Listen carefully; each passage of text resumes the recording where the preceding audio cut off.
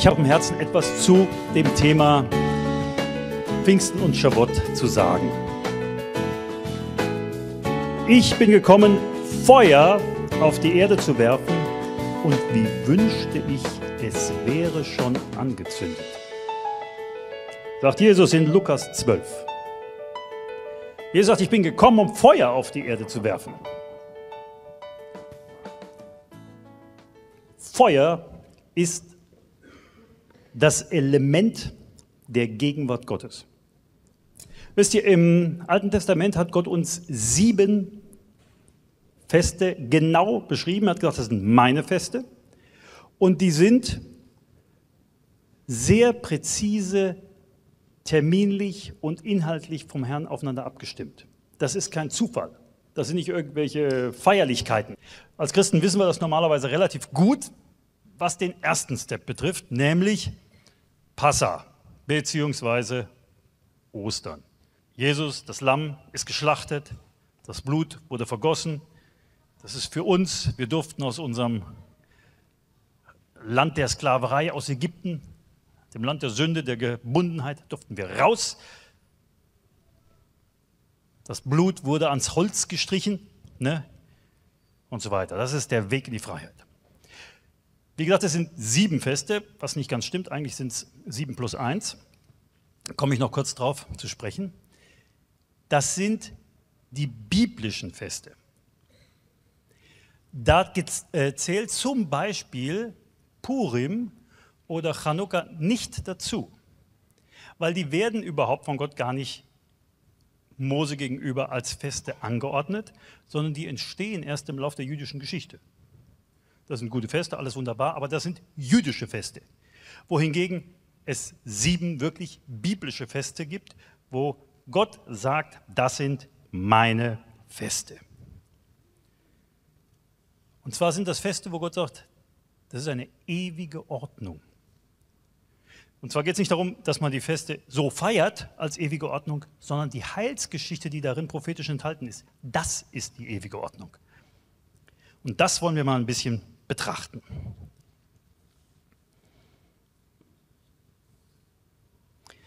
Wie gesagt, sieben Feste. Ich gehe die gleich mal ganz kurz durch. Das erste Fest ist das Passafest.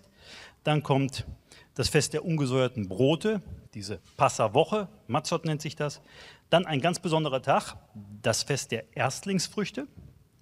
Dann kommt Tetrete, Pfingsten, Halleluja. Danach Rosh Hashanah oder der Drometentag oder der Tag des Schofarblasens oder Schofar. Das ist das Fest mit den meisten Namen. Dann der große Versöhnungstag, Yom Kippur und zum Schluss das Laubhüttenfest Sukkot. Das sind die biblischen, von Gott höchstpersönlich angeordneten Feste. Die ersten drei, die hat Jesus erfüllt, als er gekreuzigt wurde, im Grab war und auferstanden ist. Und dann kommt Pfingsten, Shavuot, das ist auch erfüllt. Aber die drei noch folgenden Feste, das war sozusagen die Frühlingsfeste, die drei noch folgenden Feste, die sind im Herbst, die stehen heilsgeschichtlich prophetisch für das, was auf uns zukommt. Das ist das, was auf uns äh, in absehbarer Zeit zukommt. Und das ist heilsgeschichtlich grandios, wenn man sich damit beschäftigt. Rosh Hashanah ist der Tag der Wiederkunft des Herrn. Der Trompetentag, der Tag, wo die Posaunen erklingen. Aber darum soll es heute gar nicht groß gehen. Heute sind wir hier, um uns vor allen Dingen mit Shavuot zu beschäftigen. Die ersten vier Feste, diese Frühlingsfeste und dieses Shavuot-Fest, sind erfüllt in der Vergangenheit. Jesus hat die erfüllt. Und die drei noch ausstehen, wird er ganz genauso erfüllen. Amen. Das erste Fest ist das Passafest.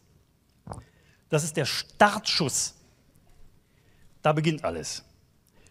Wie ihr alle wisst, ist es das Fest des Auszugs aus Ägypten, wo das Lamm geschlachtet worden ist in einer Familie und das Blut an diese Torpfosten gestrichen worden ist. Das ist heilsgeschichtlich steht das für Bekehrung.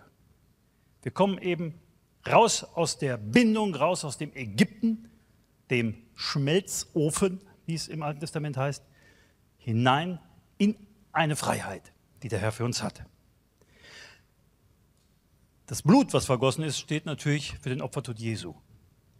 Dieses Passafest, oder wenn du dich damit beschäftigst, der Abend vorher, der Sederabend, ist gestopft voll mit Hinweisen auf Jesus, auf den Opfertod, auf das, was er getan hat. Okay. Aus dem Sedermahl übrigens ist das Abendmahl eins zu eins entstanden. Eigentlich kann man das Abendmahl nicht ganz wirklich verstehen, wenn man sich nicht mal mit dem Sedermahl beschäftigt, weil da steckt extrem viel drin, auch in der Abfolge und ähm, genau, viel tiefer, als wir das normalerweise so, wenn man es einfach so liest, erkennen können. Okay, zweitens, das war ja der Startschuss. Danach beginnt eine Woche der ungesäuerten Brote, wo die also eben Matzen essen. Und diese ganze Woche, die Passawoche, die steht für den Prozess der Heiligung. Du bist jetzt also aus dem Leben der Sünde und der Gebundenheit raus und okay, gehst in was Neues rein, in einen Prozess der Heiligung. Das alte sündige Leben Ägyptens bleibt sozusagen hinter dir und jetzt muss was passieren, bevor du dein verheißenes Land einnehmen kannst. Das ist ein Bild für die Reise in die Nachfolge. Dann gibt es einen ganz besonderen Tag. Das ist das dritte Fest. Das ist der Tag der Erstlingsfrüchte. Der ist eingebettet in diese Passawoche. Das ist nämlich der zweite Tag der Passawoche. Und dieser Tag ist ähm, sehr interessant, weil das ist das Fest, wo die Erstlingsfrüchte dargebracht werden. Und das ist genau der Tag, wo Jesus auferstanden ist. Also das ist das, was wir an Ostersonntag feiern. Ja, der Auferstehungstag. Das ist im, im, im Heilsgeschichtlichen, was Gott uns als Feste angeordnet hat, der Tag, wo die Erstlingsfrucht dargebracht wird. Und das ist sowas von logisch. Ja, die Erstlingsfrucht Jesus ist er, der Erstling, ja, der Erstgeborene aus den Toten.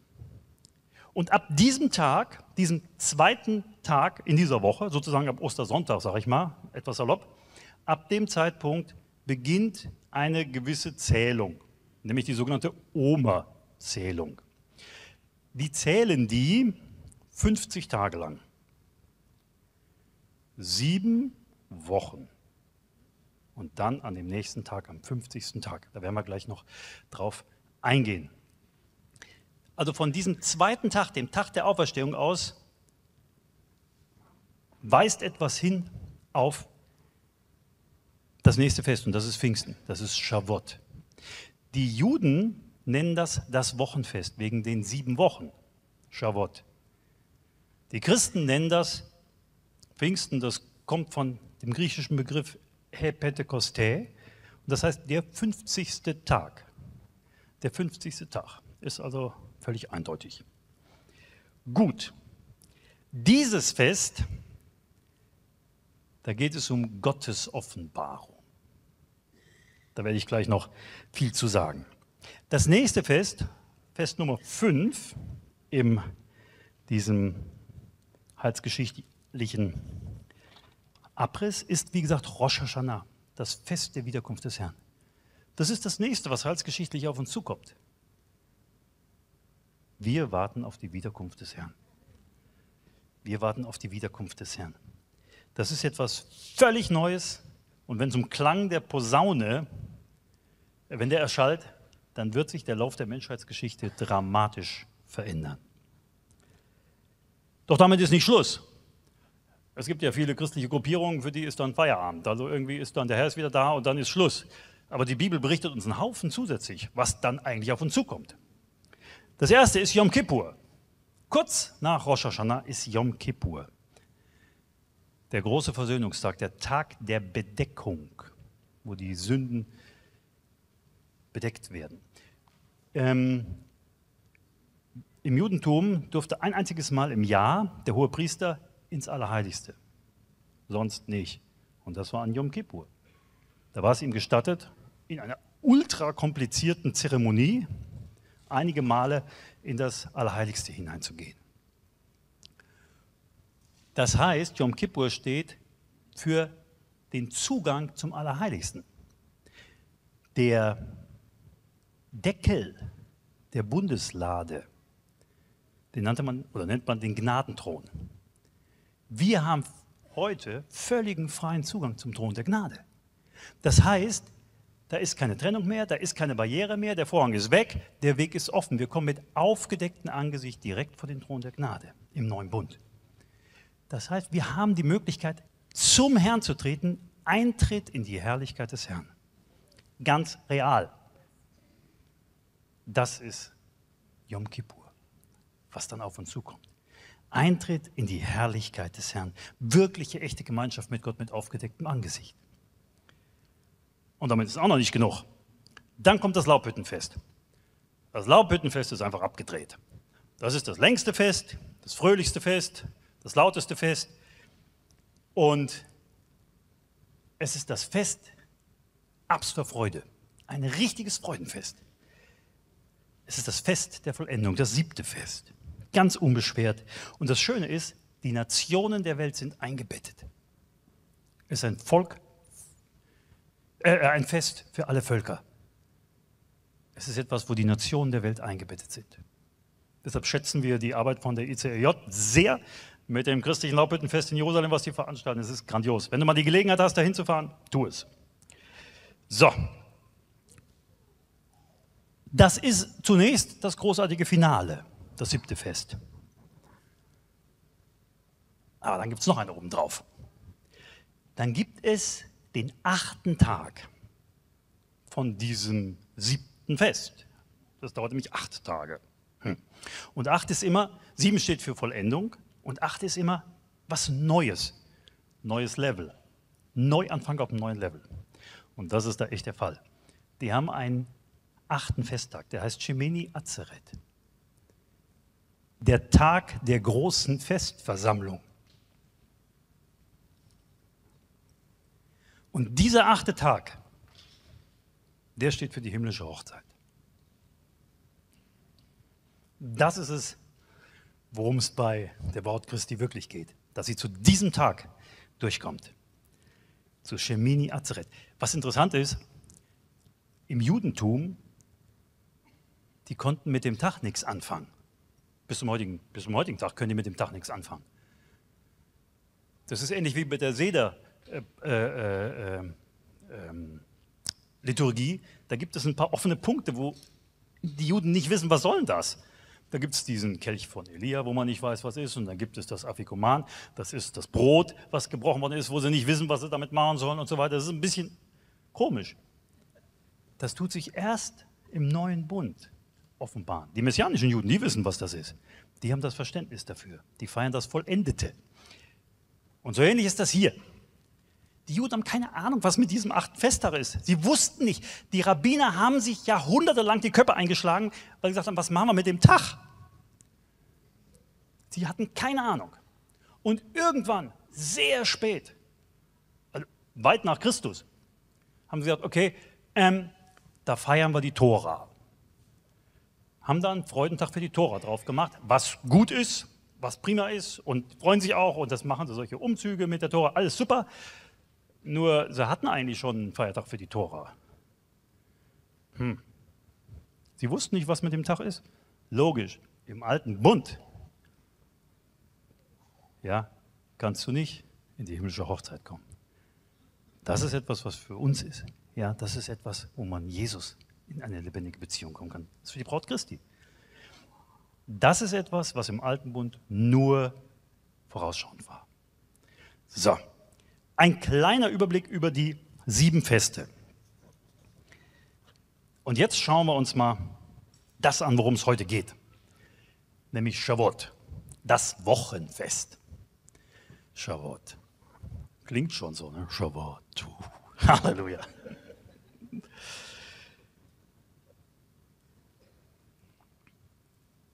3. Mose 23, 15 bis 21 heißt es, und ihr sollt für euch zählen an dem Tag nach dem Schabbat von dem Tag, an dem ihr die Garbe fürs Schwingopfer gebracht habt. Das ist dieser zweite Tag der Passawoche. Von dem Tag an sollt ihr zählen. Es sollen sieben volle Wochen sein. Bis zum anderen Tag, nach dem siebten Schabbat, sollt ihr 50 Tage zählen. Und ihr sollt an eben diesem Tag einen Ruf ergehen lassen. Eine heilige Versammlung soll euch sein. Keinerlei Dienst dabei dürft ihr tun. Eine ewige Ordnung in all euren Wohnsitzen für eure Generation. Also eine unbeschränkt gültige Anordnung. Nach den sieben Wochen am 50. Tag eine heilige Versammlung. Eine heilige Versammlung. Das ist im biblischen Jahreskreislauf kombiniert mit einem Erntefest. Zu Passa wird die Gerste geerntet. Das ist das Erste, was da reif wird. Und es ist absolut verboten, mit der Ernte zu beginnen, bevor Passa ist. Ganz großes No-No. Geht nicht. Also deshalb ist es auch sehr wichtig, dass die gucken, dass sie den Termin halbwegs gescheit legen, weil äh, wenn natürlich dann sonst das ein bisschen spät ist, dann wird es schwierig mit der Ernte.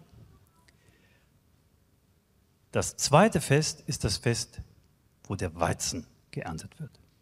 Das ist ein interessanter prophetischer Hinweis. Gerste, das war die Speise für die Armen. Oder später hat man es dann sogar den Tieren gegeben. Das war so die Basics. Ähm, Passa oder Be ich, Bekehrung ist wichtig, Basic-Versorgung. Okay? Gott sagt, aber ich habe noch eine bessere Ernte. Da gibt es noch was anderes. Es gibt auch noch Weizen. Und der beginnt die Ernte bei Shavuot.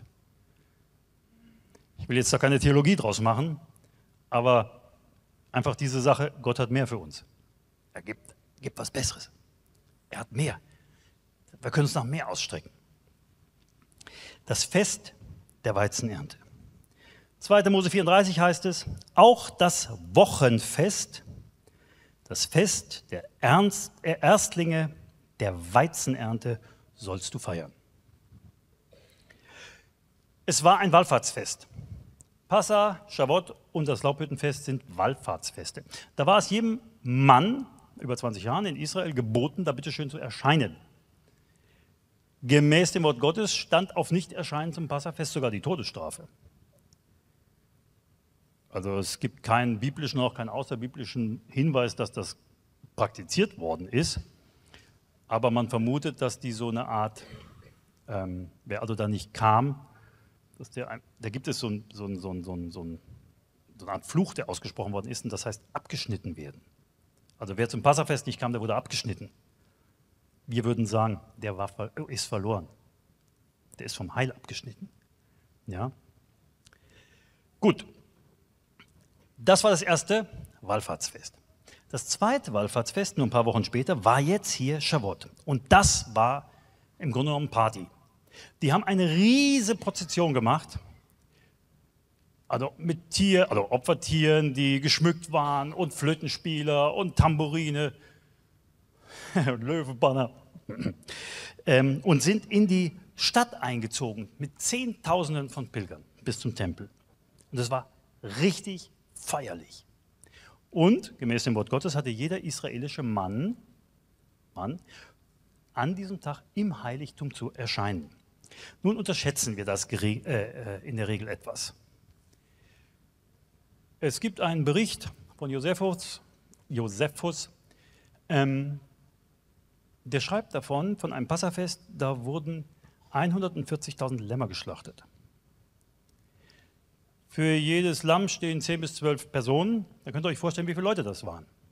Das Tempelplateau hat man ausgerechnet, hat Platz für etwa 400.000 Leute geboten. Ähm, deshalb hatten die schon so Schichtbetrieb eingeführt. Die waren super organisiert, was man heute weiß. Tatsache ist, da kamen viele hunderttausend zusammen. in der Stadt konntest du sozusagen, da, da fiel keine, keine, keine Stecknadel auf den Boden. Voll gestopft.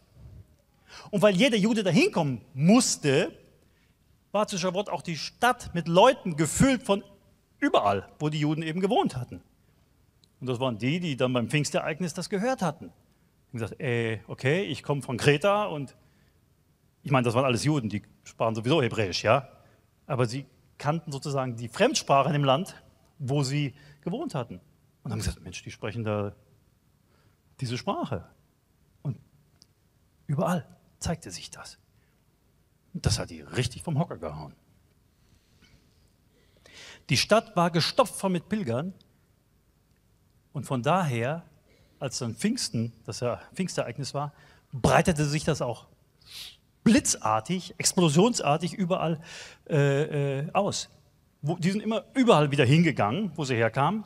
Und das äh, Christentum breitete sich also explosionsartig geradezu aus in, in der jüdischen Kultur. Überall kamen die entzündeten Gläubigen, Judenchristen, und brachten das Pfingstereignis hin.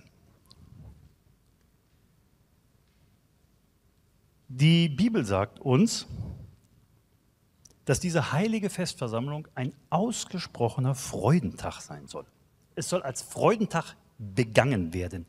In der Heiligen Schrift ist die Festtagsfreude ausdrücklich angeordnet. Tja, da sollst du dich freuen. Ja, nun freu dich mal. Nun freu dich doch endlich. Könnt ihr euch mal aufschreiben. 5. Mose 16, Vers 11.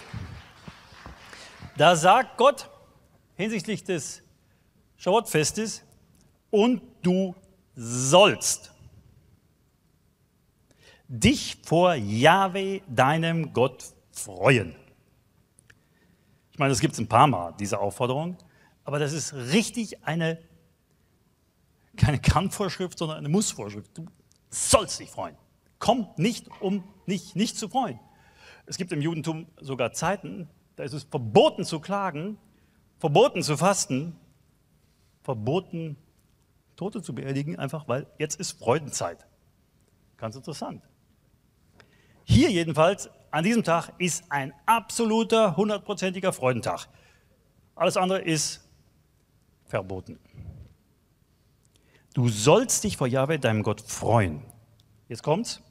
Du und dein Sohn und deine Tochter und dein Sklave und deine Sklavin und der Levit, der in deinen Toren wohnt und der Fremde, und der Weise und die Witwe, die in deiner Mitte wohnen. Kurzum, alle. Jeder soll sich freuen. Keine Ausnahme. Was interessant ist, nicht nur damals Juden, sondern alle, alle Fremden. Auch Knechte, Mägde, Sklaven, alle, alle, alle sollten sich an diesem Tag freuen. Hm. Okay, ein echter Freudentag. Vielleicht kriegen wir hinterher noch raus, warum eigentlich. Diese Bibelstelle finde ich übrigens faszinierend. Du und dein Sohn und deine Tochter und dein Sklave und deine Sklavin und so weiter. Erinnert mich an etwas, was mit Pfingsten zu tun hat. Joel 3, Vers 1 bis 2 heißt es. Und danach wird es geschehen, dass ich meinen Geist ausgießen werde über alles Fleisch. Klammer auf, das steht noch aus. Ist noch nicht passiert. Der Geist Gottes ist noch nicht über alles Fleisch ausgegossen. Klammer zu. So, ausgießen über alles Fleisch. Und eure Söhne und eure Töchter werden Weissagen. Eure Greise werden Träume haben, eure jungen Männer werden Visionen sehen. Selbst über die Knechte und über die Mägde werde ich in jenen Tagen meinen Geist ausgießen. Du siehst, das gehört zusammen. Was Joel hier sagt, gehört zusammen. Das ist Shabbat. Das gehört zusammen. Die Ausgießung des Geistes und die Freude ist ein Package. Ich merke es an eurem überaus freudigen Verhalten, dass die Botschaft angekommen ist. Lasst euch, seid ganz gut. So, An diesem Tag, der, der, war anders. Der hat irgendwie auch in diesen ganzen Festzyklus und alles, was die da so hatten, hat das irgendwie so nicht ganz reingepasst. Der war irgendwie schräg. Oder wie man so schön deutsch sagt, querch.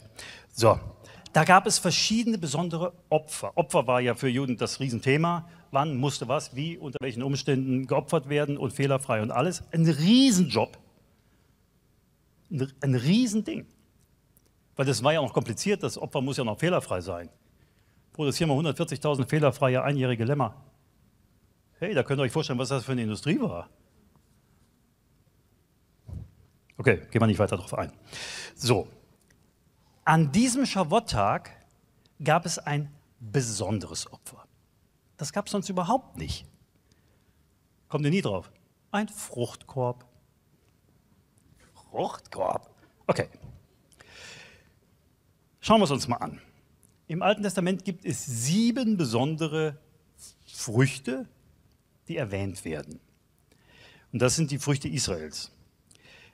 Also, 5. Mose 8 heißt es, denn Jahwe, dein Gott, bringt dich in ein gutes Land, ein Land von Wasserbächen, Quellen und Gewässern, die in der Ebene und im Gebirge entspringen, ein Land des, erstens, Weizens und der Gerste der Weinstöcke, Feigenbäume und Granatbäume, ein Land mit ölreichen Olivenbäumen und Honig. Honig, das Wort, was da verwendet ist, ist Dattelsirup, Dattelhonig, ne? Datteln. Ein Land, in dem du nicht in Armut dein Brot essen wirst, an dem es dir an nichts fehlen wird. Das sind die klassischen Früchte Israels. Und an Shavuot ist es noch heute so, dass in Israel, die diese Früchte nehmen und so, eine Art Gelande um ihr, ihren Hauseingang drum machen. Weil irgendwie feiern die diese Früchte. Und das hängt mit dem Opfer zusammen.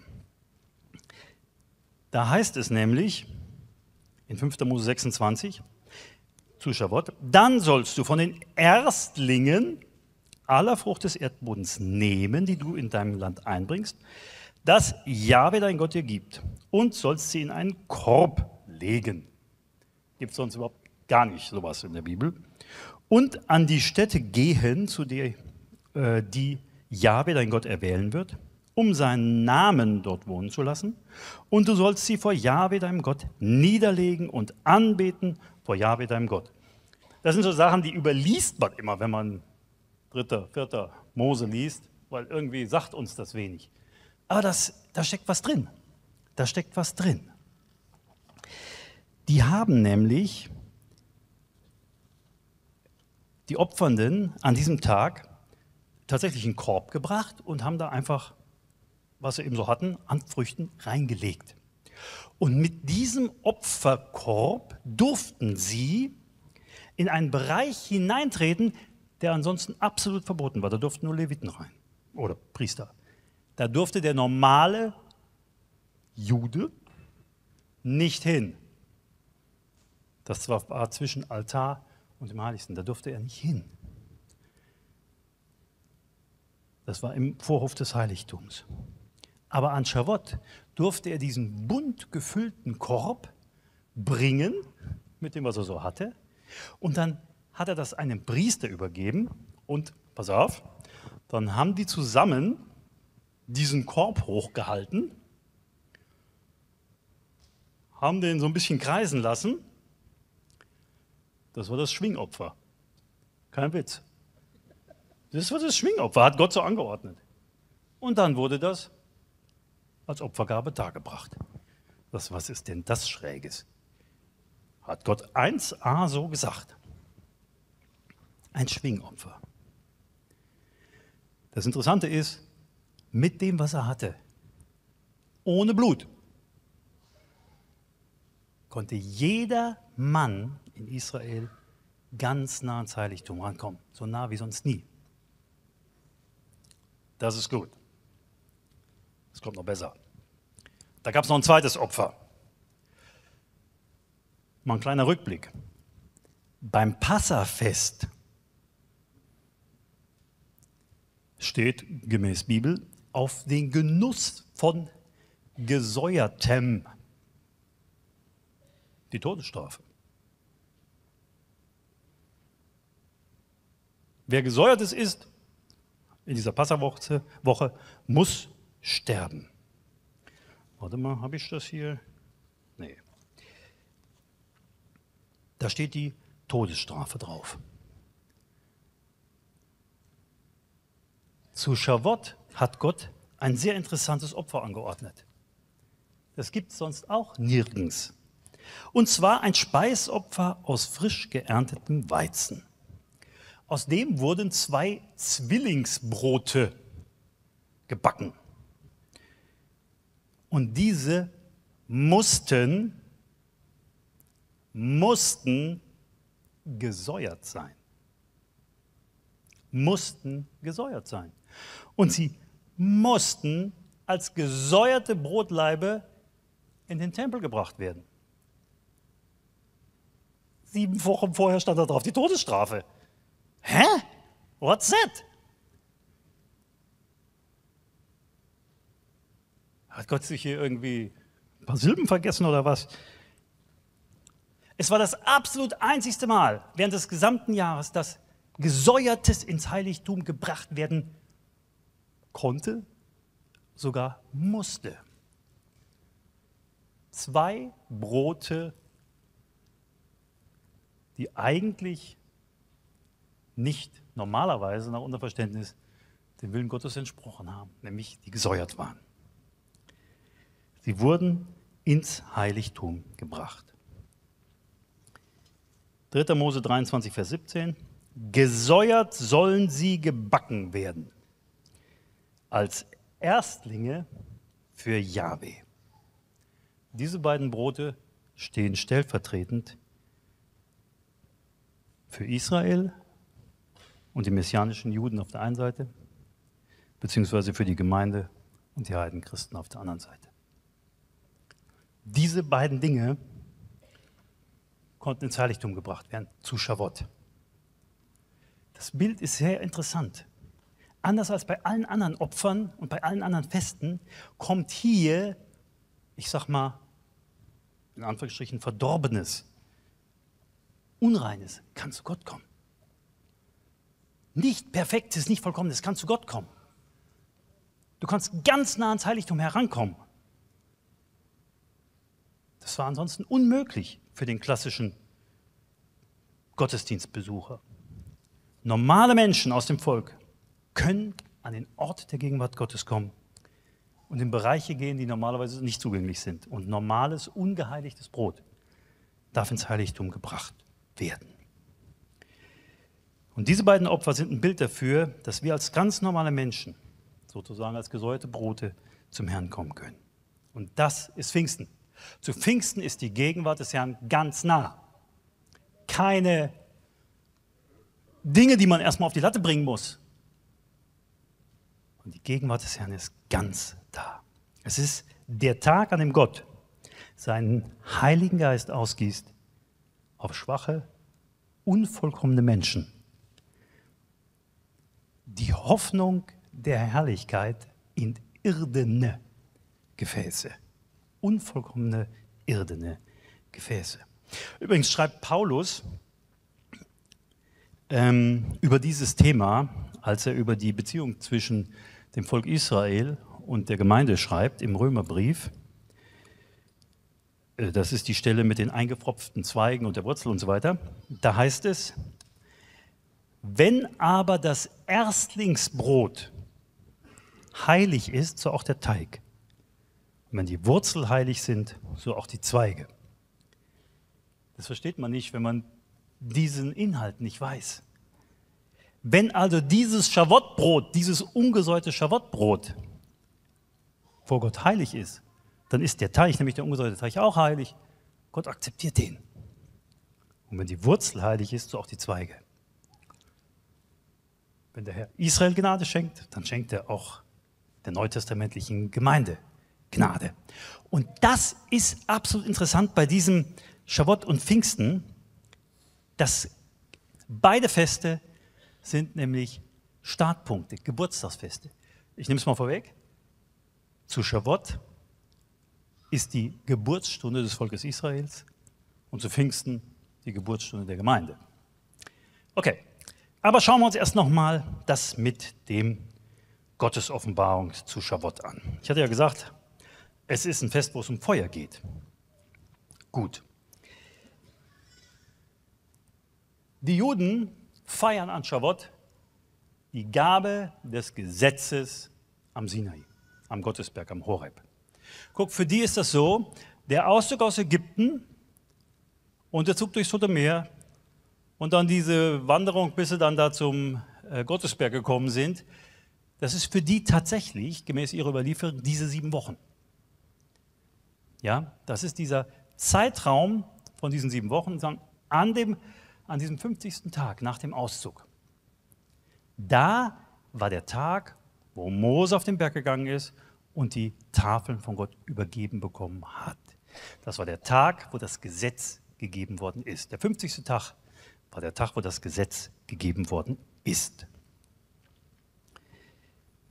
Die jüdischen Gelehrten haben seit jeher gesagt, erst durch das Gesetz, erst durch die Gabe des Gesetzes wurde Israel zu einem Volk und zu einem freien Volk. Das war ja vorher ein Haufen äh, irgendwie, ich weiß nicht was, Sklaven, äh, wahrscheinlich nicht gut gebildet, gar nichts, man weiß nicht. Aber Gott hat etwas getan, was es bisher noch nicht gab. Er hat höchstpersönlich sein Gesetz gegeben. Das war grandios. Das war absolut wunderbar. Sie haben aus der Hand des allmächtigen Gottes das Gesetz bekommen. Und auch wenn wir als neutestamentliche Christen natürlich wissen, dass das Gesetz nicht vollkommen war, so war es doch etwas Wunderbares, etwas Herrliches, eine Möglichkeit, mit Gott in Kontakt zu kommen. So, an diesem Tag, als das Gesetz gegeben worden ist, war der Geburtstag Israels. Der Tag, wo es als Volk geboren worden ist. Es gilt als der Höhepunkt der Gottesoffenbarung. Jetzt müssen wir uns mal Folgendes vorstellen. Mose war da ja aufgetaucht in Ägypten, nachdem er diese Erscheinung am brennenden Dornbusch hatte. Und da heißt es, der Herr sprach aus dem Feuer. Okay, wie auch immer, dieses Feuer war das Element, was Gott genutzt hatte, wodurch er mit Mose irgendwie kommuniziert hat. Und dann sind sie aus Ägypten raus und dann war da die Feuersäule. Die Herrlichkeit Gottes hat eine Wolke gebildet, die einfach von dieser Shekinah erfüllt war. Und die ist so leuchtend und funkelnd, dass sie nachts als wie eine Feuersäule wahrgenommen worden ist und tagsüber wie eine Wolkensäule. Ein, die Gegenwart Gottes war da.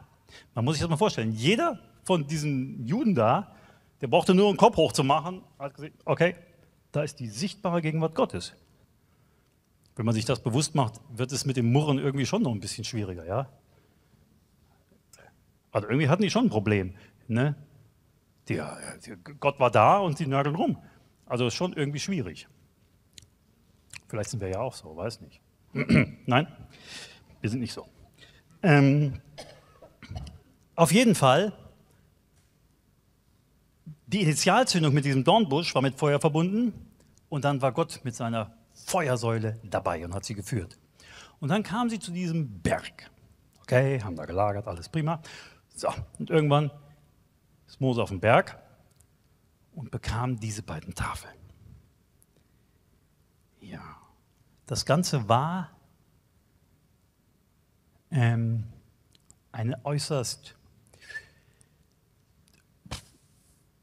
überwältigende Erfahrung für die Juden. Das überleben, überlesen wir auch manchmal.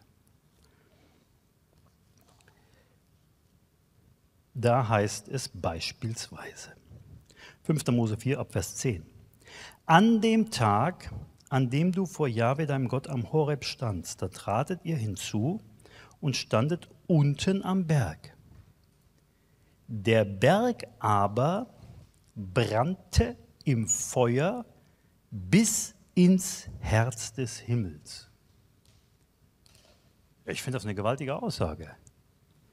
Der ganze Berg stand im Feuer Und sie sagen irgendwie bis ins Herz des Himmels. Was ist das Herz des Himmels? Der Thron Gottes. Das Herz des Vaters. Vom Himmel, von der himmlischen Dimension, vom Thronraum Gottes war irgendwie die Gegenwart Gottes auf diesem Berg. Und der Berg stand im Feuer. Hey, zu Moses Zeiten, ein paar Wochen vorher, ein paar Monate vorher, war es ein Busch. Hallo, jetzt war es schon mal ein Berg. Das ist schon mal was anderes. Gut. Das Ganze hat die ziemlich geschockt, weil war nicht so, wie sie sich gedacht hatten. Das Wort, was hier übrigens für Himmel steht, ist tatsächlich das Wort Himmel. Also Shamayim im Hebräischen. Das ist exakt so zu verstehen, wie wir Himmel sagen. Also einmal Himmel, wie Firmament, aber auch eben Himmel, die himmlische Dimension, die Gegenwart Gottes. Genau so mit dieser Doppelbedeutung ist das hier eingesetzt. Okay. Diese Erscheinung war mit gewaltigen Naturerscheinungen, mächtigen Gewittern, Erdbeben, Feuer und so weiter sowas von erschütternd, dass die Betrachter die Krise gekriegt haben und gesagt haben, äh, pass mal auf, pass mal auf, Mose, mach du das hier für uns. Das ist uns hier so heiß. Das ist uns so heiß. Hier wollen wir nicht wirklich involviert werden. Das ist irgendwie äh, nicht für uns. Da heißt es in 2. Mose 19, der ganze Berg Sinai rauchte, weil Jahwe im Feuer auf ihn herabkam. Ich hatte gesagt, Feuer ist das Element der Gegenwart Gottes. Vielleicht kennt ihr die Bibelvers, unser Gott ist ein verzehrendes Feuer. Kommt im Alten wie im Neuen Testament übrigens vor. Feuer ist etwas, was Gott symbolisiert. Sehr, sehr segensreich, aber auch völlig zerstörerisch. Irgendwie nicht zu handeln. Ganz genial.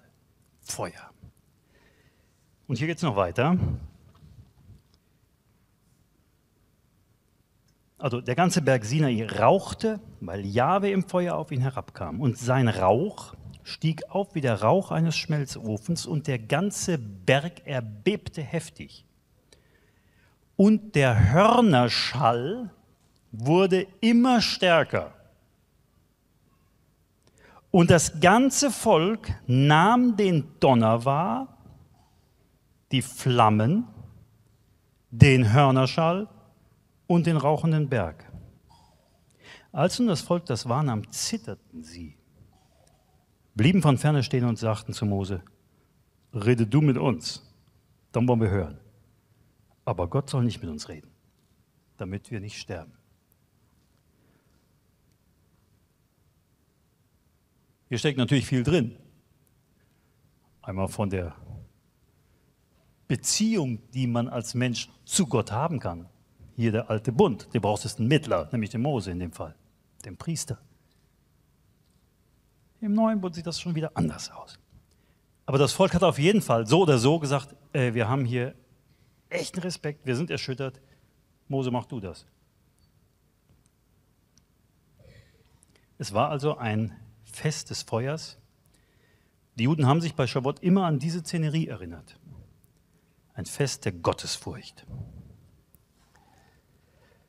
In 2. Mose 24 heißt es, das Aussehen der Herrlichkeit Jahwes aber war vor den Augen der Söhne Israels wie ein verzehrendes Feuer auf dem Gipfel des Berges.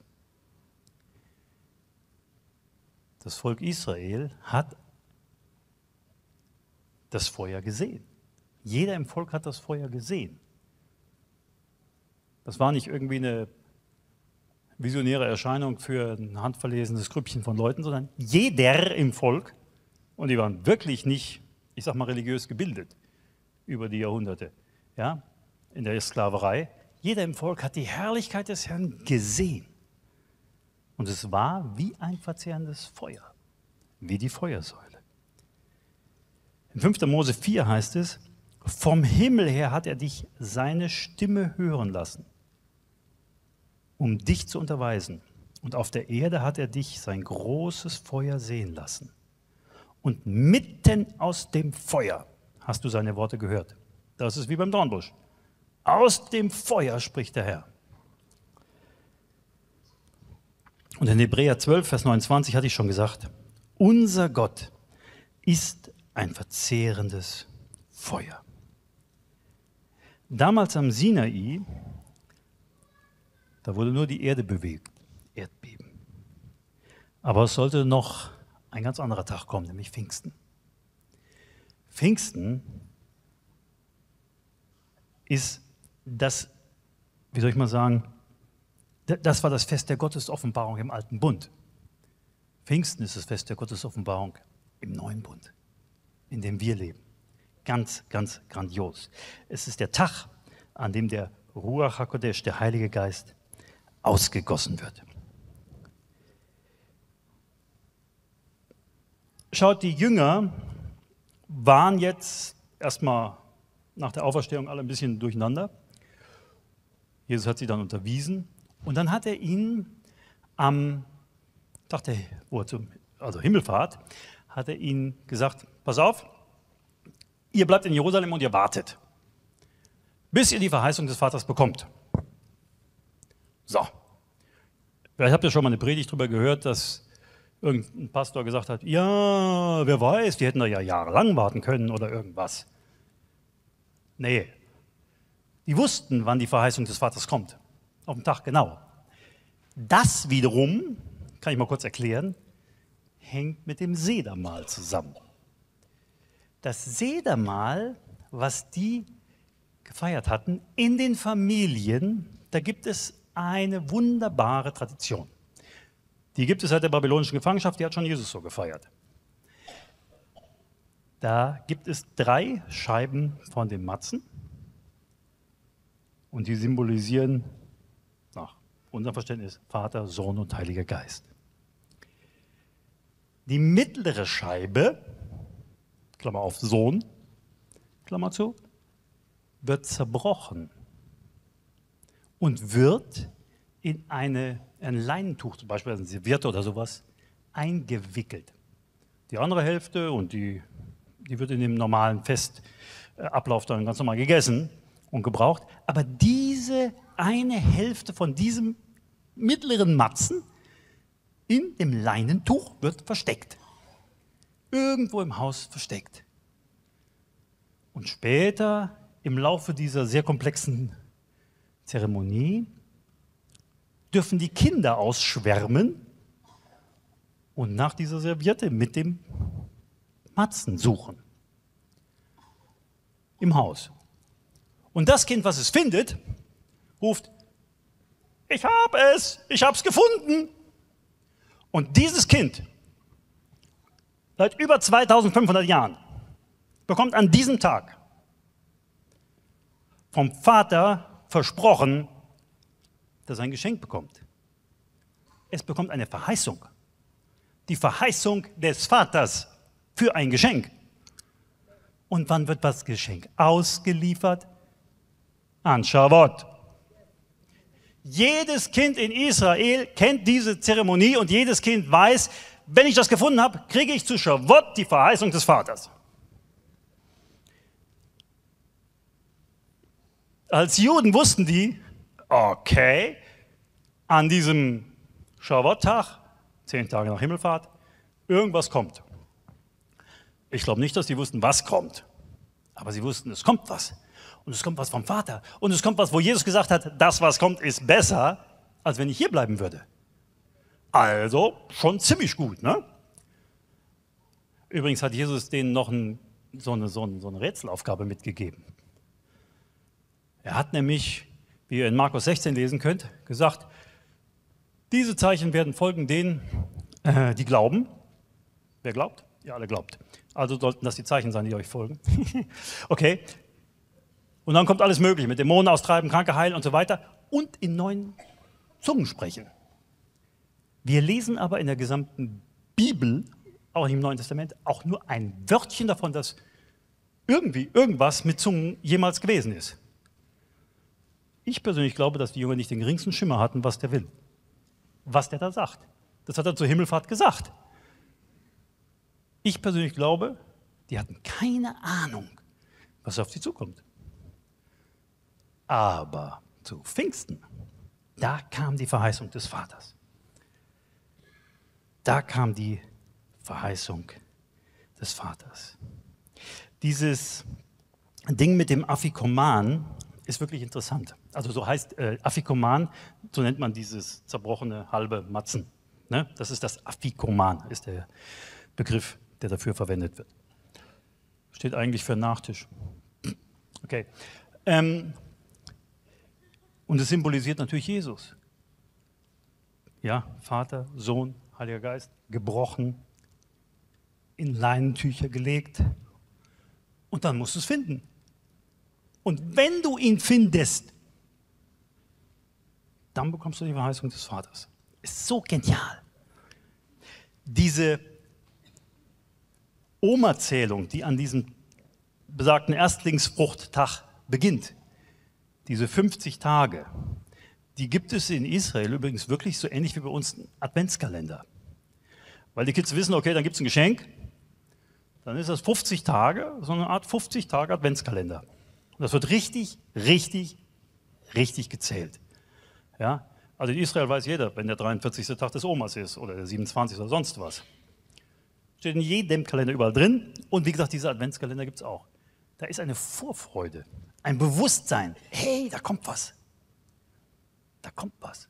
Pfingsten oder beziehungsweise Shavuot, Tag, äh, der Tag, wo die Verheißung des Vaters kommt. Grandios. So.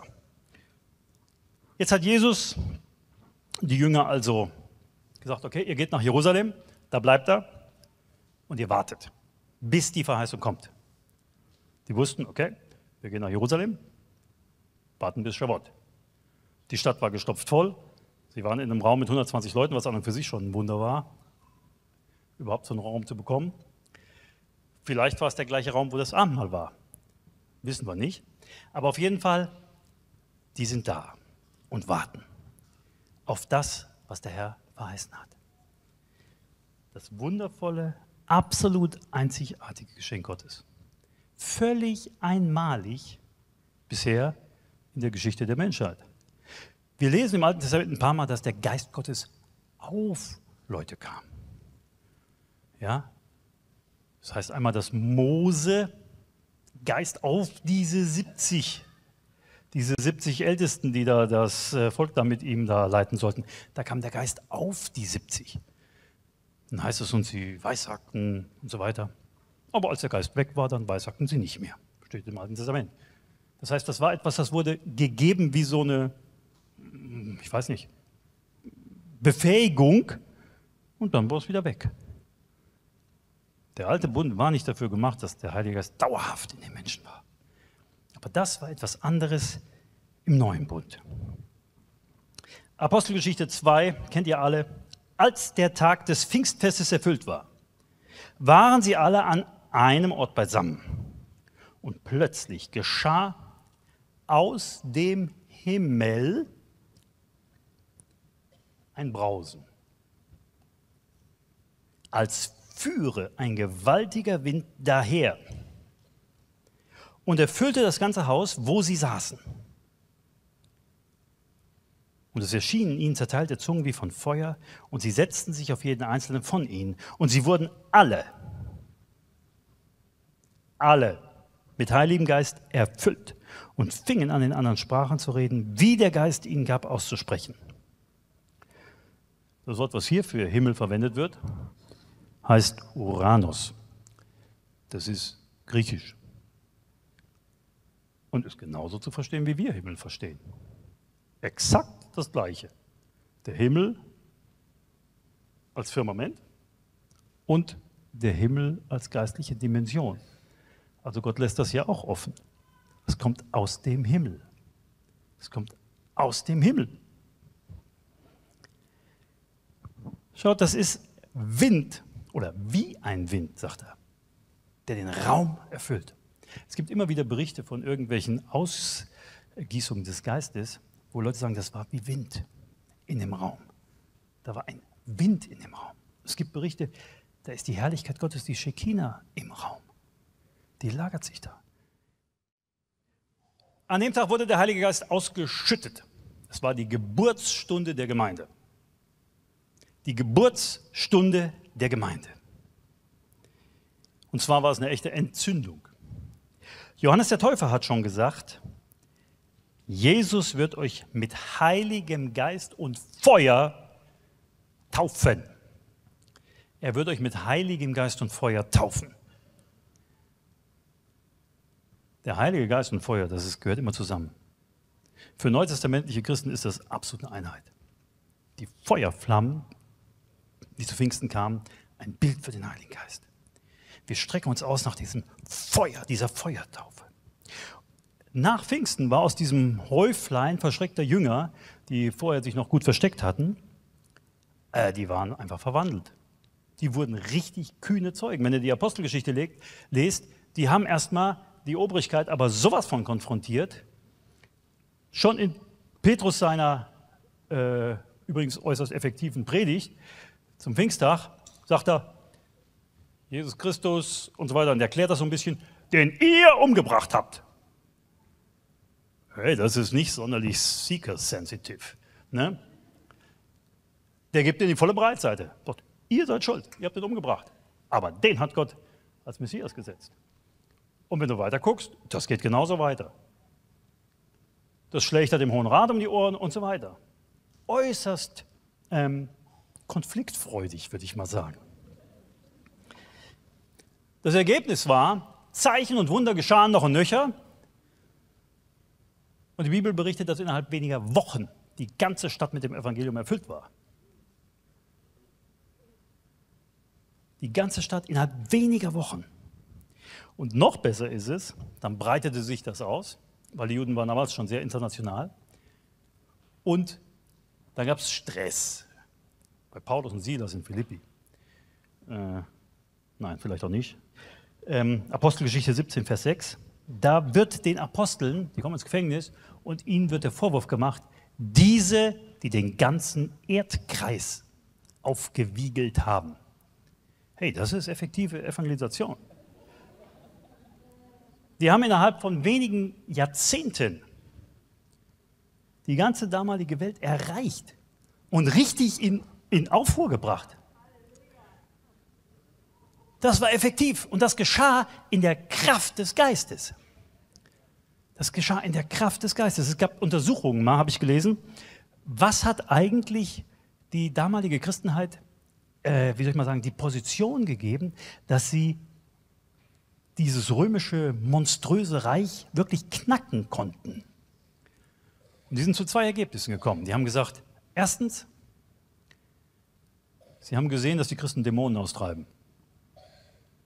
Und zweitens, sie haben gesehen, wie die Christen sterben. Sie haben gesehen, wie die hingerichtet werden, verfolgt werden und welchen Glauben die haben. Und sie haben erkannt, hey, hey, hey, die haben viel mehr. Das war ein Zeugnis, was dieses römische Reich, was so brutal war, so menschenverachtend und eigentlich ein Terrorstaat, geknackt hat. Und das war das, was mit Pfingsten begann.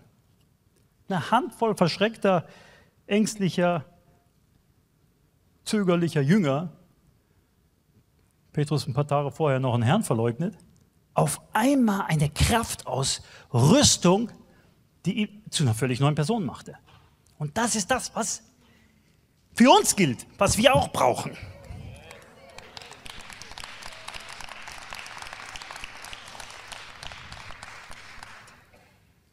Okay. Ich hatte gesagt, Schavot ist der Höhepunkt der Gottesoffenbarung. Und das gilt auch für Pfingsten. Die Ausgießung des Heiligen Geistes an diesem Tag ist der Höhepunkt der Gottesoffenbarung. Ich lese euch was vor aus Hesekiel. Hesekiel 11 ab Vers 19, da heißt es, prophetisch, und ich werde ihnen ein Herz geben und werde einen neuen Geist in ihr Inneres geben in ihr Inneres. Das gab es bis dahin nicht, das war prophetisch. Wie gesagt, der Heilige Geist bis dahin nur auf den Leuten. Okay. Und ich werde das steinerne Herz aus ihrem Fleisch entfernen und ihnen ein fleischernes Herz geben, damit sie in meinen Ordnungen leben und meine Rechtsbestimmungen bewahren und sie befolgen. Und sie werden mir zum Volk und ich werde ihnen zum Gott sein. Gott sagt, ich mache was. Ich gebe was. Ich investiere was. Und das wird euch dazu bringen, dass ihr das, was im alten Bund gefordert ist und was unmöglich ist, erfüllen könnt. In der Kraft des Geistes. Jeremia 31 heißt es sehr ähnlich. Ich werde mein Gesetz in ihr Inneres legen und werde es auf ihr Herz schreiben. Wisst ihr, als das Gesetz an diesem Gottesberg, dem Horeb, gegeben worden ist, Mose diese höchstpersönlich von Gott beschriebenen Tafeln bekommen hat und wieder runterkam da traute er seinen Augen nicht. Da tanzte das Volk nämlich ums goldene Kalb. Kalb ist einer der Gottheiten, der Götzenbilder von Ägypten. Gesagt, Aaron haben sie gesagt, mach uns einen Gott. Das sollte ihr Gott sein, Jahweh. Aber bitteschön, so dass wir ihn angucken können. Und dann hat er da sich das Gold geben lassen, hat das schmelzen lassen, dann kam das Ding bei raus. Und das haben die angebetet. Und gesagt, das ist Yahweh. Und Mose kam mit diesen Gesetzestafeln vom Berg. Er hatte Gott gesehen. Er hat gesagt, Mensch Leute, da ist die Feuersäule, der ganze Berg steht in Brand und ihr baut euch hier so einen Pimpelkram, eine goldene Kuh, die ihr anbetet. Man muss sich die Szenerie mal äh, vergegenwärtigen.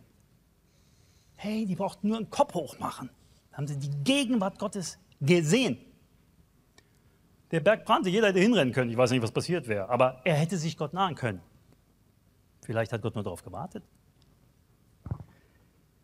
Das ist dieses Ding,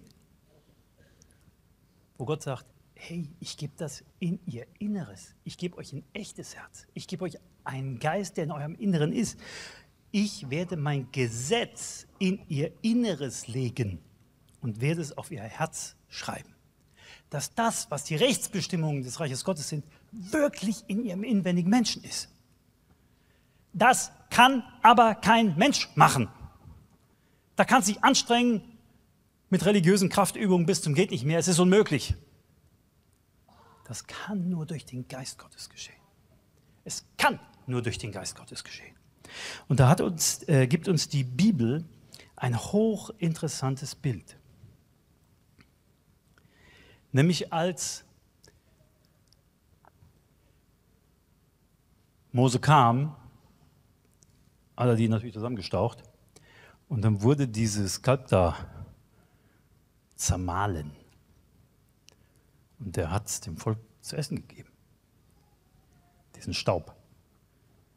Und dann berichtet uns die Bibel, dass an dieser Plage 3000 starben. Etwa 3000 Menschen.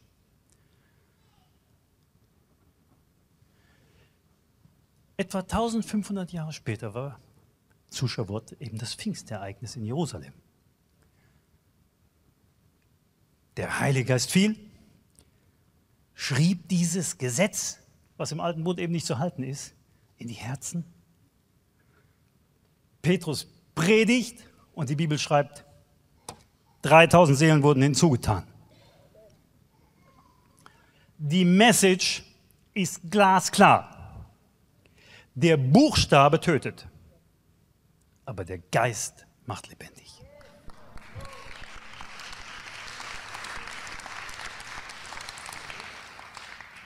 Halleluja. Halleluja. Halleluja. Jetzt kommen wir gleich zum, zum Ende. Nicht wirklich. Aber zu einem, einer Sache, die mir sehr wichtig ist. Ich möchte mich nochmal über das Feuer nachdenken. Das Feuer des Herrn. Feuer ist ein Zeichen der Gegenwart Gottes, habe ich gesagt. Unser Gott ist ein verzehrendes Feuer. Wir hatten gelesen, äh, dass Gott selbst im Feuer herabkam auf diesen Berg. Etwas später haben die dann die Stiftshütte gebaut, gemäß den genauen Vorschriften, äh, Vorgaben von Gott, haben das Heiligtum errichtet und haben dann die Priesterklamotten gemacht und alles, was so eben da beschrieben ist in, in äh, den Büchern Mose. Und dann kam der Zeitpunkt, wo jetzt der Opferdienst beginnen sollte. Der Startpunkt. Und dann war Aaron als erster Hohenpriester, der sollte jetzt dieses aller, aller, aller, allererste Opfer da mitten in der Wüste, ähm, sollte er darbringen. Und Mose und Aaron gingen hinein in das Zelt der Begegnung, und als sie herauskamen, segneten sie das Volk. Jetzt pass mal auf. Da erschien die Herrlichkeit Jahwes dem ganzen Volk. Da erschien die Herrlichkeit Jahwes dem ganzen Volk. Und Feuer ging von Jahwe aus und verzehrte es auf dem Altar, das Brandopfer und die Fettstücke. Das ganze Volk als es das sah, da jauchzten sie und fielen auf ihr Angesicht. Gott selbst hat mit seinem Feuer an diesem Ort der Stiftshütte, die er für sich als Wohnstätte ausgesucht hatte, das Opfer entzündet. Es war Feuer vom Herrn, was dieses Opfer entzündet hat. Die Stiftshütte war der Ort, sehr präzise beschrieben, den Gott als seine Wohnstadt erwählte. Kurz darauf gab es eine negative Story. Weil die das noch nicht so wussten, gab es diese Story mit Nadab und Abihu, zwei Söhne Aarons. Ich weiß nicht was, aber auf jeden Fall, sie haben selber ein Feuer angezündet und wollten ins Heiligtum bringen. Und das heißt, das Feuer des Herrn verzehrte sie. Sie kamen mit fremdem Feuer ins Heiligtum und das hat ihr Leben gekostet. Nun ist da von den Informationen über diesen ganzen Opferzyklus ist noch nicht viel zu dem Zeitpunkt geschrieben gewesen. Also ich würde nicht sagen, dass die was bewusst Verkehrtes gemacht haben. Ihr erinnert euch bestimmt an die Story von dem Typ, als er die Bundeslade äh, nach Jerusalem gebracht haben. Usa, genau der da angefasst hat, um die zu schützen, dass die nicht runterfällt, der musste auch mit seinem Leben bezahlen. Was, was ist denn das so schräg? Hey, so schlimm ist das auch nicht. Die mussten mit ihrem Leben bezahlen. Gleichzeitig liest er beispielsweise bei den Söhnen von Eli, die haben da Schweinereien ohne Ende gemacht und den Opferzyklus sonst wie rumgemurkst. Äh, die haben gar nichts gemacht, da passiert überhaupt nichts. Erstmal. Wieso ist denn Gott da so komisch? Ja, bei dem einen so überscharf und beim anderen lässt das laufen. Ganz einfach. Ganz einfach. Die Antwort ist die Gegenwart des Herrn. Die Gegenwart des Herrn war da, als sie die Bundeslade gebracht haben. Die Gegenwart des Herrn war hier, als sie das fremde Feuer gebracht haben. Zu Elis Zeiten war die Gegenwart des Herrn nicht in der Stiftshütte. Da war gar nichts, da war ein religiöser Zyklus. Irgendwas lief da. Wenn die Gegenwart des Herrn da ist, dann ist die Sache so, dass das man mit dem Feuer nicht spielen kann. Da ist Gottesfurcht notwendig. Es geht hier um Gott. Es geht um Gott. Es geht um sein innerstes Wesen, sein Feuer. Jahrhunderte später findet David den Tempelplatz. Auch eine schräge Story, wie er den gefunden hat, egal. Er findet den Tempelplatz. Und Gott sagt, nee, also da sollst du keinen Tempel bauen, weil an deinen Händen zu viel Blut klebt. Aber du darfst das Material sammeln und so weiter. Aber auf jeden Fall hat David an der Stelle, wo der Tempel gebaut werden sollte, einen Altar gebaut. David baute dort Jahwe einen Altar und opferte Brandopfer und Heilsopfer. Und er rief zu Jahwe Und der antwortete ihm mit Feuer, das vom Himmel auf den Altar des Brandopfers fiel. Eieiei. Also Gott hat sich da wieder dazu gestellt. Gott hat gesagt, okay, das ist in meinem Dienst. Das war der künftige Tempelplatz. Der künftige Ort, wo der Tempel ist, war der Ort, den Gott sich ausgewählt hatte, wo er seine Herrlichkeit wohnen lassen wollte. Er war seine künftige Wohnstadt.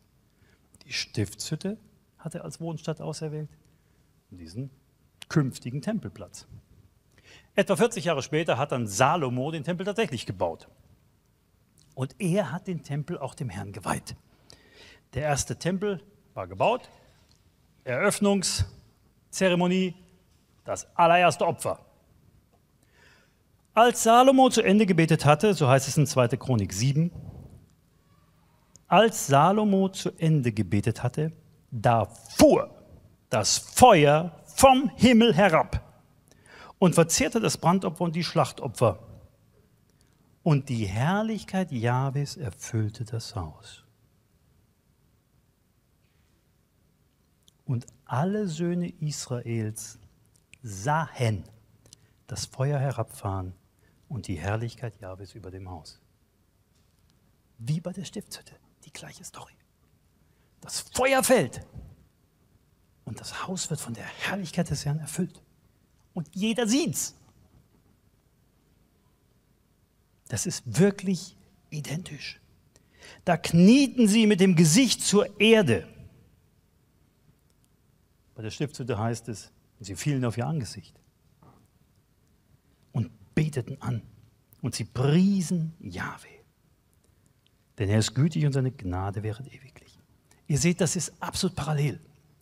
Bei der Einweihung der Stiftshütte lässt der Herr sein Feuer und seine Herrlichkeit fallen und bei der Einweihung des Tempels genauso.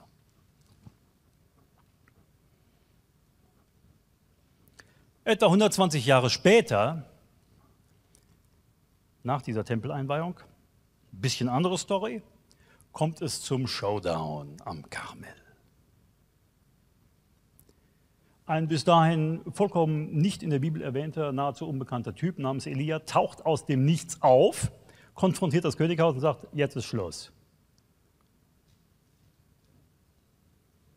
Einfach irgendjemand, der gesagt hat, jetzt ist Schluss.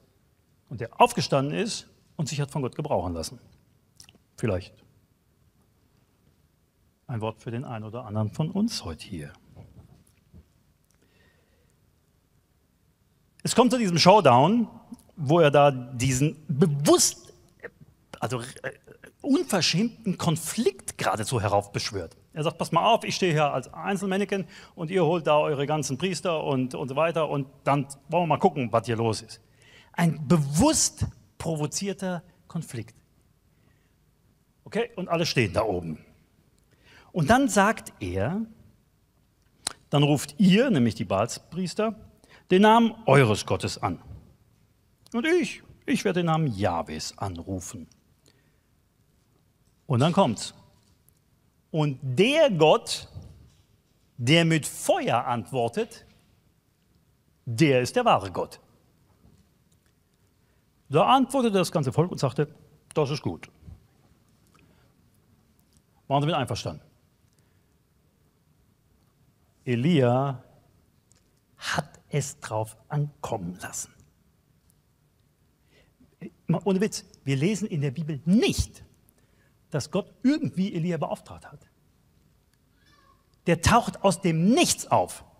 Elia, der Tischbitter. Das ist alles, was du rauskriegst. Der taucht einfach auf, konfrontiert das Königshaus und sagt, genug ist genug. Der hat eine Kühnheit, die wir auch haben sollen. Eine richtige Pfingstkühnheit. Und er konfrontiert dieses ganze religiöse, monstermäßige System, was das da im Griff hatte und sagt, vielleicht kostet es mich Kopf und Kragen, aber ich werde es darauf ankommen lassen. Ich werde es darauf ankommen lassen.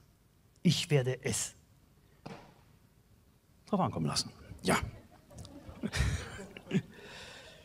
Und es geschah zur Zeit, als man das Speisopfer opferte, da trat der Prophet Elia hinzu und sprach, Jahwe, Gott Abrahams, Isaak und Israels, heute soll man erkennen, dass du Gott in Israel bist und ich dein Knecht und dass ich nach deinem Wort das alles getan habe. Antworte mir, Yahweh. Antworte mir, damit dieses Volk erkennt, dass du, Yahweh, der wahre Gott bist und dass du selbst ihr Herz wieder zurückgewandt hast. Da fiel Feuer von Jahwe herab und verzehrte das Brandopfer und das Holz und die Steine und die Erde und das Wasser, das im Graben war, leckte es auf. Als das das Volk sah, fielen sie auf ihr Angesicht und sagten, Jahwe ist Gott, Jahwe ist Gott.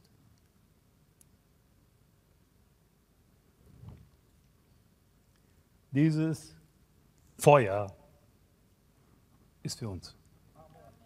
Dieses Feuer ist das Feuer, was im alten Bund hier ein paar Mal auftauchte.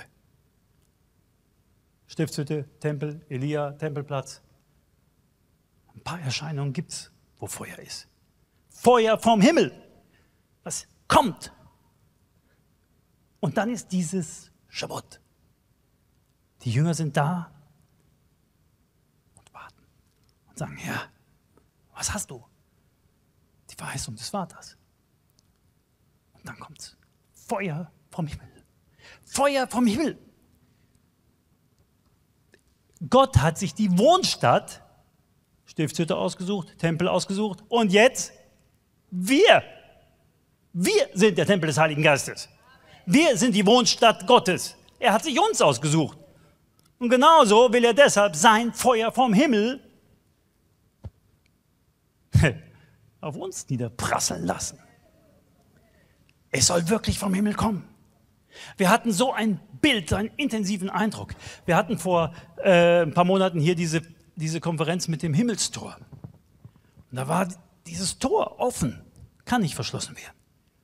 Und vom Thron Gottes, vom Thron Gottes, vom Inneren des Himmels, strömte eine gewaltige Feuerwalze, ein Feuerflut, ein Strom, ein Feuerstrom durch das Tor hindurch. Und dann haben wir gesagt, das wollen wir. Das wollen wir, das wollen wir. Dass jeder Einzelne dieses Feuer für sich wirklich in seinem Leben erlebt. Dass dieses Feuer ihn wirklich durchdringt. Wir werden gleich dafür beten. Und dann musst du dich prüfen. Das ist kein, ähm, keine leichtfertige Sache dieser Usa oder dieser Nabab und der Abihu, die sind, weil sie nicht wussten, wie sie damit umgehen sollen, umgekommen. Das Feuer vom Herrn, was Elia gebraucht hatte, hat, wie ihr vielleicht wisst, zweimal 50 Soldaten verzehrt. Da kam das Feuer auch. Das waren einfach Kräfte, die gegen ihn kommen wollten. Das Feuer fiel und hat sie vernichtet. Feuer von Gott ist Feuer von Gott. Das ist etwas absolut Einzigartiges. Wenn wir uns danach ausstrecken, wenn wir das für unser Leben haben wollen, wenn wir das brauchen, müssen wir uns bewusst sein, was das heißt. Unser Gott ist ein verzehrendes Feuer. Es wird uns verzehren. Das ist nicht was mit Bless me.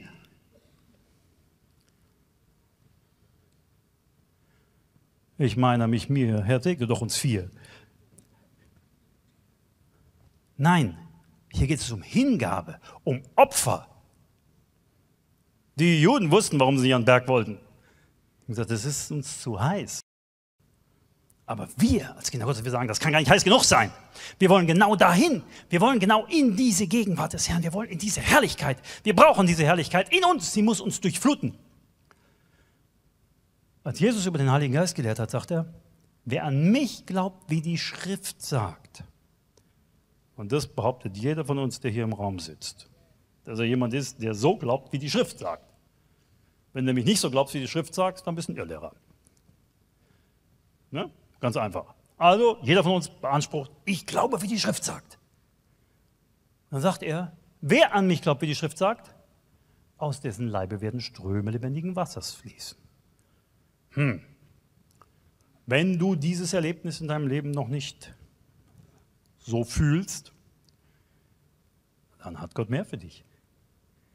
Im nächsten Vers sagt Jesus, oder heißt es, das sagt er aber von dem Geist. Die Ströme lebendigen Wassers, die aus dir fließen sollen, das ist der Geist. Das Wort, was da steht, Leib, aus dessen Leibe werden Ströme lebendigen Wassers fließen, was da steht, heißt eigentlich Bauch. Aus dessen Bauch werden Ströme lebendigen Wassers fließen. Wir müssen das mal uns verdeutlichen. Es ist Körper, also wirklich Körper. Und Gott sagt, da fließt der Geist durch. Das heißt, aus der himmlischen Dimension wirkt er durch dich und flutet durch dich hinaus. Er manifestiert sich sozusagen in dir. Der Geist fließt durch deinen Körper. Und das ist etwas, was der Herr tun will. Wo er sagt, legt den Leuten die Hand auf und sie werden gesund. Predigt das Evangelium und die Leute werden sich bekehren. Wie bei der Pfingstpredigt, da heißt es, es ging ihnen durchs Herz. Es hat sie richtig getroffen.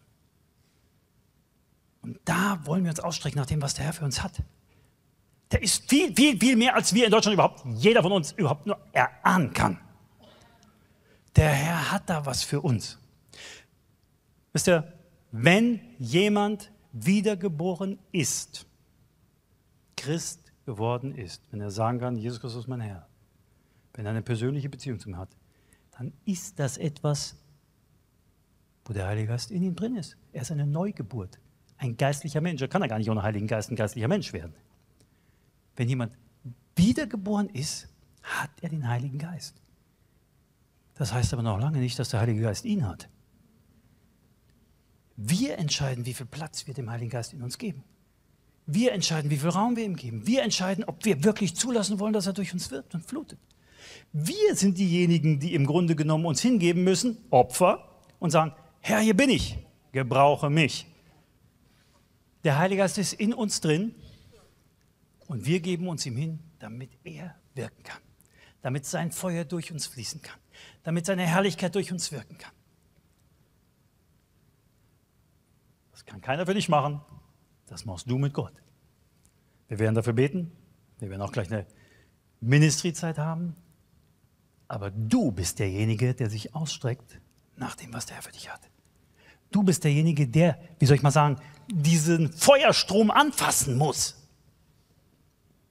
Ich habe diesen Feuerstrom übrigens gesehen. In meinem Buch über den Himmel habe ich das beschrieben. Das ist sehr schwierig zu beschreiben. Das ist wie Lava, dünn fließende Lava, wie so glitzernd, wie Wind, Wasser, irgendwas, Öl, golden, feurig, ganz eigentümlich, glitzernd. Das ist genau diese Shekinah. Und du kannst im Geist das anfassen. Du musst es anfassen. Du musst es in deinem Leben freisetzen. In dir ist sozusagen eine Quelle, die Gott öffnen möchte. In dir ist eine Quelle schon drin. Und Gott sagt, hey, lass Ströme lebendigen Wassers daraus fließen. Weißt du, und da auf dieser Quelle, da können vielleicht Steine oder Felsbrocken oder irgendwas sind. Falsche Vorstellungen, falsche Lehre, irgendwelche Befürchtungen, irgendwas, was da sein mag, was dich blockiert. Dann lass einfach zu, dass der Herr das wegnimmt. Oder bitte, Geschwister, die hinterher für dich beten wollen, dass das weggenommen wird, damit du wirklich frei wirst. Aber wir wollen uns ausstrecken und sagen, Herr, wir wissen, du hast die Wohnstadt dir ausgewählt. Und das sind wir. Und genauso wie bei Mose und bei Salomo und bei David und Elia willst du dein Feuer in unser Leben hineingeben, dass es durchbringt, durch uns flutet, durch uns flutet. Wir sind der Ort, den der Herr als ein Heiligtum erwählt hat. Steht mal alle auf. Ich möchte dich bitten, dass du jetzt einfach mal deinen Nachbar vergisst. Einfach vergisst, ignorierst. Du brauchst ja nicht zu fragen, ob der sich Gedanken macht, was du machst, weil der denkt sich eh nur, was du über ihn denkst. Also ist, vergiss es einfach. Konzentriere dich jetzt ganz auf den Herrn. Es geht hier wirklich um eine heilige Sache. Es geht darum, dass du dich ausstreckst und das, was der Herr hat, völlig neu in dir freigesetzt wird. Völlig neu in dir freigesetzt wird. Du gibst dich hin und sagst, Herr, diese Verheißung des Vaters, die ist in meinem Leben noch nicht so, wie sie sein sollte. Da ist noch mehr. Da ist Luft nach oben. Und ich will da hinein. Ich will da hinein. Mehr von dir. In dem Sinne, dass mehr von dir in meinem Leben freigesetzt ist. Freigesetzt ist. Ich gebe mich dir hin. Und das machst du deinem Vater im Gebet.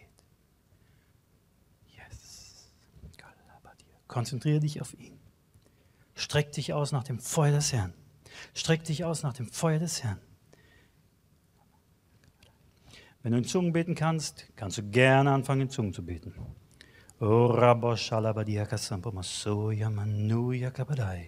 Lamatuya kasia kalamanoya kasuya kabadai.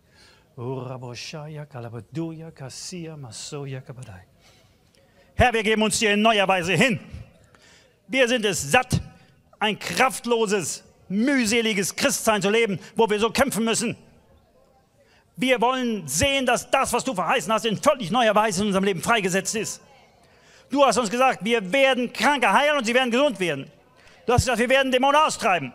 Ja, du hast sogar gesagt, wir werden Tote wieder zum Leben rufen. Das sprechen wir aus, dass das in unserem Leben freigesetzt ist. Wir geben uns dir hin und wir legen auf diesen Altar all das, was wir an Vorbehalten haben, was wir an komischen theologischen Vorstellungen haben, was wir an irgendwelchen Befürchtungen haben, an irgendwelchen Dingen, die vielleicht auch Minderwertigkeit oder Krankenstolz oder alles, was dem im Wege steht. Herr, wir strecken uns nach dir aus und sagen, berühre uns mit deinem Feuer. Komm neu mit deinem Feuer auf uns. Wir brauchen dein Feuer. Wir brauchen dein Feuer, Herr. Wir brauchen mehr was du in uns freigesetzt bist, dass du durch uns fließt, dass Ströme lebendigen Wassers wirklich durch uns fluten, fluten, fluten. Herr, komm mit deinem Feuer auf uns. Streck dich nach dem Herrn aus. Streck dich nach dem Herrn aus. Sprich zu ihm. Sag, was du im tiefsten Herzen verlangst. Seid nicht leise, sondern streckt euch nach dem Herrn aus. Er hat mehr für uns. Er will uns mehr von seiner Liebe geben. Er will mehr in uns wirken. Gib dich ihm ganz neu hin. Sag, Herr, ich bin dein Kind. Ich gehöre zu dir. Ich habe dieses Afikoman gefunden. Ich will diese Verheißung des Vaters haben, in völliger Weise freigesetzt in meinem Leben. Mehr von dir, was in meinem Leben freigesetzt ist. Du hast mehr für uns und wir strecken uns aus nach diesem Meer. In dem Sinne, dass du in uns mehr Raum gewinnst, Herr. Wir geben dir unser Leben hin. Wir sagen, nimm es als lebendiges, dir wohlgefälliges Opfer. Wir hören auf mit unserem religiösen Getue. Wir hören auf mit unserem Bemühen, irgendwas da auf die Reihe zu bringen, sondern wir sagen, Herr, wirke du es in uns. Das Ströme lebendigen Wassers fluten aus uns, die unsere Umwelt, unser, unsere Nachbarn, unsere Arbeitskollegen, unsere Familien erreichen. Herr, lass es fließen, fließen durch uns. Ströme lebendigen Wassers, Ströme des Feuers, Ströme deines Segens. Lass es fluten.